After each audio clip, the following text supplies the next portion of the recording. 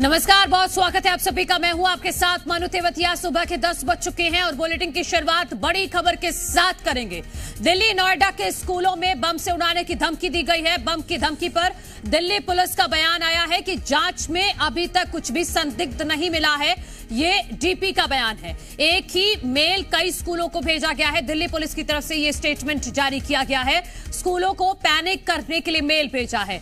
अभी तक IP address का पता नहीं चला है। दिल्ली पुलिस के मुताबिक धमकी भरे ईमेल का आईपी एड्रेस पता लगाने की कोशिश की जा रही है।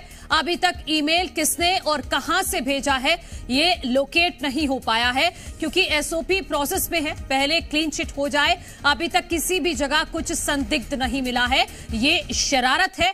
पैनिक फैलाने पर इतने बड़े लेवल पर सभी स्कूलों को मेल किया गया है। ईमेल की आईपी एड्रेस की साइबर सेल यूनिट भी पता करने की कोशिश कर रही है।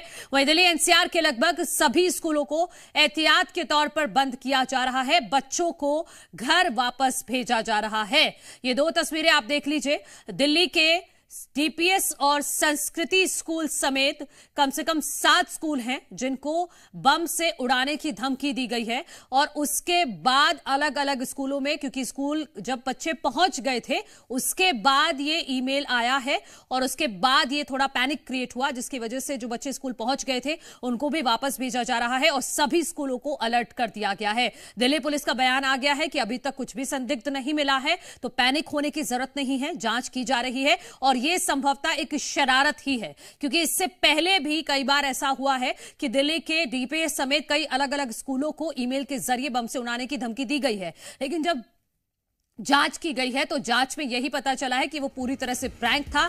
कोई सिर्फ़ और सिर्फ़ पैनिक क्रिएट करने की कोशिश थी। तो वैसा ही कुछ इस मामले में भी निकलकर सामने आ रहा है और को पैनिक करने की बिल्कुल कोई ज़रूरत नहीं है, ये दिल्ली पुलिस ने कहा है कि एक ही मेल है जो अलग अलग स्कूलों को भेजा गया है सेम मेल है, जो अलग अलग स्कूलों को भेजा गया है, लेकिन अभी तक आईपी एड्रेस ट्रेस नहीं हो पाया है। अभी मैसेज आया फ़ोन आया, उसके बाद बोला कि कोई इमरजेंसी इशू है तो बच्चों को लेके जाइए तुरंत यहाँ से। जी। हाँ पुलिस अंदर है। जी।